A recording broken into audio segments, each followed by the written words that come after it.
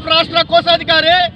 ఈ రోజున ఈ రాష్ట్ర ప్రభుత్వం ప్రతిపక్ష నాయకుడిగా ఉండగా ఉద్యోగులకు ఉపాధ్యాయులకు అనేక వరాలు ఇచ్చారు. కానీ ఈ ఐదు సంవత్సరాల కాలంలో ఒక వరం కూడా మాకు నెరవేర్చలేదు కాదు పోగా.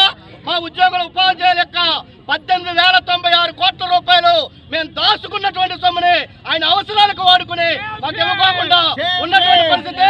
మేము పిఎఫ్ మా జీతాల నుంచి కట్ చేసినటువంటి పిఎఫ్ లోన్లు పెడితే పిల్లల పెళ్ళిల కోసం ఇవాళ పిల్లల పెళ్ళి పిల్లలు పుట్టినప్పటికి కూడా శాంక్షన్ కావట్లేదు. కాబట్టి పిఎఫ్ పిఆర్సీ ఏరియర్లు పిఎఫ్ ఏరియర్లు దాదాపు ఏడు వేల మూడు వందల కోట్లు. పిఎఫ్లో నాలుగు వేల ఐదు వందల కోట్లు మొత్తం పద్దెనిమిది వేల తొంభై ఆరు కోట్ల రూపాయలు ఇవ్వాలి? ఈ రోజున మేము శాంతియుతంగా ముప్పై ఆరు గంటల ధర్నా చేస్తామని చెప్తే ఈ విజయవాడలో రాజకీయ పార్టీలకు అనుమతి ఇచ్చారు లేదా కార్మిక సంఘాలకు అనుమతి ఇచ్చారు. మరి ఉపాధ్యాయులకి పోలీసులు ఎందుకు అనుమతి అవసరం లేదని చెప్పి మేము సూటిగా ప్రశ్నిస్తా ఉన్నాం. ఈ విజయవాడ నడిబడ్డులో నూట రాష్ట్ర ప్రభుత్వం.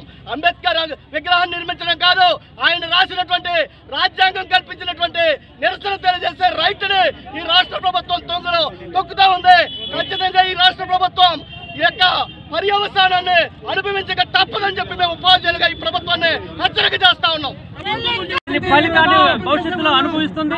ఇప్పటికే ఉద్యోగులకు ఇవ్వాల్సినటువంటి బాకీలను వెనకబెట్టి మేము కూడేసుకున్నటువంటి మొత్తాలను కూడా ఇవ్వకుండా ఇబ్బంది పెడుతూ దాదాపుగా ఇరవై వేల కోట్ల రూపాయల మా బకాయిల్ని చెల్లించుకున్న ప్రభుత్వం వివరిస్తా ఉంది?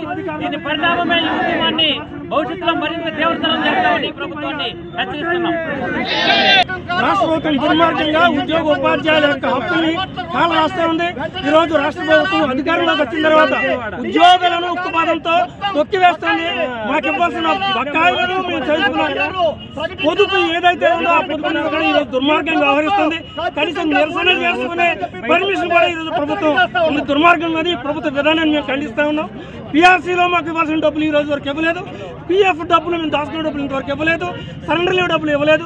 ఇరవై వేల కోట్ల పైగా ఈ ప్రభుత్వ ఉద్యోగులకు బకాయిలు పడుతూ దుర్మార్గం కావాల్సింది మన మీద కేసులు పెడతా ఉంది.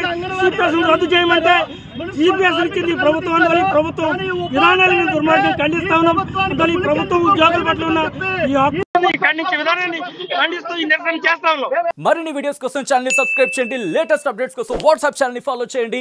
అండ్ లింక్ డిస్క్రిప్షన్లో ఉంది.